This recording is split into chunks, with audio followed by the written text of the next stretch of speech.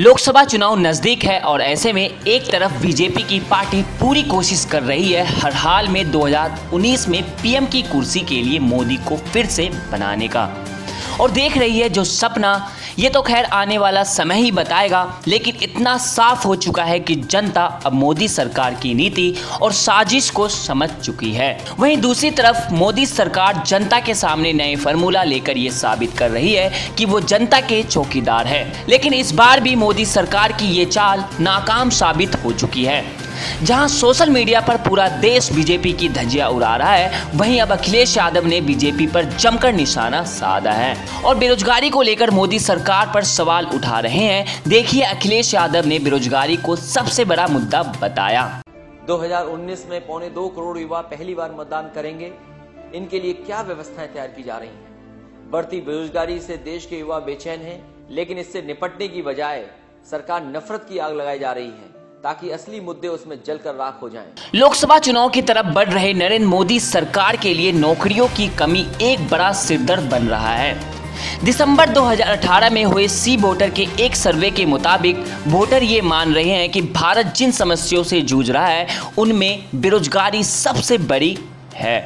बता दें, चुनाव में अब महज कुछ ही दिन रह गए हैं। ऐसे में देश में नौकरियों की स्थिति में शायद ही कोई सुधार हो पाया है। लेकिन सवाल ये है कि नौकरियों की कमी का मुद्दा मोदी सरकार ना उठाकर चौकीदार चौकीदार खेल रहे हैं।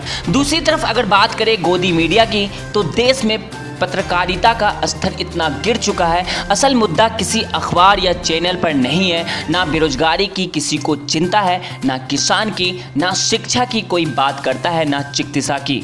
अगर बात भी होती है तो बस धर्मवाद, जातिवाद और देशभक्ति की। आज गरीब अपने छोटे छोटे खेत बेचकर प्राइवेट इलाज करवा रहे हैं। सरकारी अस्पताल उन्हें सुविधाएँ दे पाने में असमर्थ क्यों हैं? लोग गाँव छोड़कर शहर जा रहे हैं। जिसमें शहरों पर दबाव बढ़ता जा रहा है। हमारे देश की आबादी के 70 परसेंट से ज़्यादा लोग गाँव में रहते हैं। कृषि भारत की आत्मा है और भविष्य भी उन्हीं देशों का होगा जिनके पास अन्न हो, ना कि गन। वहीं जनता समझ चुकी है कि बीजेपी सरकार जनता के सामने चौकीदार चौकीदार सिर्फ़ इसलिए खेल रहे हैं ताकि देश का ध्यान बेरोजगारी, किसानों की आत्महत्या, सांप्रदायिकता जैसे असली मुद्दे से देश का ध्यान हटाया जा सके। कुल मिलाकर बीजेपी की हमेशा से एक ही नीति रही है, भक्तों और बेरोजगार युवाओं का उपयोग दंगा फसाद में किया जाना। स्मार्ट सिटी का सपना भी स्मार्ट विलेज के बिना अधूरा ही रहेगा। किसान, विज्ञान और नौजवानों की समस्याएँ दफ्तर में धूल चाट रही हैं और वादों से न तो किसी का पेट भर रहा है और न किसी की प्यास बुझ रही है। ऐसे मोड़ पर समाजवाद का महत्व उजागर होता है, क्योंकि समाजवाद केवल एक राजनीतिक दल नहीं, बल्कि एक मानसिकता है। देश का भविष्य आर्थिक समानता, सामाजिक न्याय और एकता से ही मज़बूत बनाया जा सकता है। यही सपना बाबा साहेब अंबेडकर और लोहिया जी ने भी देखा था।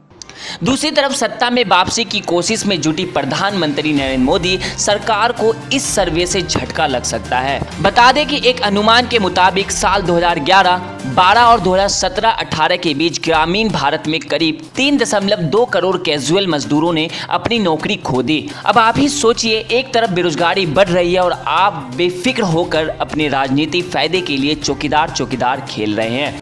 आज मैं भारत के प्रत्येक नागरिक से उम्मीद की एक नई डोर से जुड़ने की अपील करता हूँ, ताकि हम और आप मिलकर भारत की राष्ट्रीय एकता और अखंडता को और मज़बूत बनाने के साथ साथ उसे प्रगतिशील भी बनाएँ। और ये वचन लें कि हम खुशियाँ तो बांटेंगे ही, पर एक दूसरे के बोझ को भी अपनी ज़िम्मेदारी समझेंगे और देश के हर नागरिक के कंधे से कंधा मिलाकर खड़े होंगे। इस कारवा में सबसे पीछे चलने वालों का भी हौसला बढ़ाएँगे और ज़रूरत पड़े तो उनको अपने पीठ पर लेकर आगे बढ़ते चलेंगे। जय समाजवाद जय हिंद। इससे अच्छा होता अगर आपने और आपकी सरकार में सारे युवाओं को नौकरी मिल जाती। इतना ही नहीं बल्कि आपने जो पाँच साल में वादे किए अगर वो ही पूरा हो जाता तो आज जनता आपसे सवाल नहीं कर रही होती। Bureau report national Dastak. National Dastak की आपसे गुजारिश है कि अगर इसको बचाना चाहते हैं तो नेशनल दस्तक को सब्सक्राइब करने के लिए रेड कलर के सब्सक्राइब बटन को दबाएँ फिर बेल आइकन की घंटी दबाएँ नेशनल दस्तक को बचाने के लिए बहुत ज़रूरी है कि हर खबर को शेयर करें लाइक करें कमेंट ज़रूर करें। नेशनल दस्तक की आपसे गुजारिश है कि अगर इसको बचाना चाहते हैं तो नेशनल दस्तक को सब्सक्राइब करने के लिए रेड कलर के सब्सक्राइब बटन को दबाएँ, फिर बेल आइकन की घंटी दबाएँ। नेशनल दस्तक को बचाने के लिए बहुत ज़रूरी है कि हर खबर को शेयर करें लाइक करें कमेंट ज़रूर करें।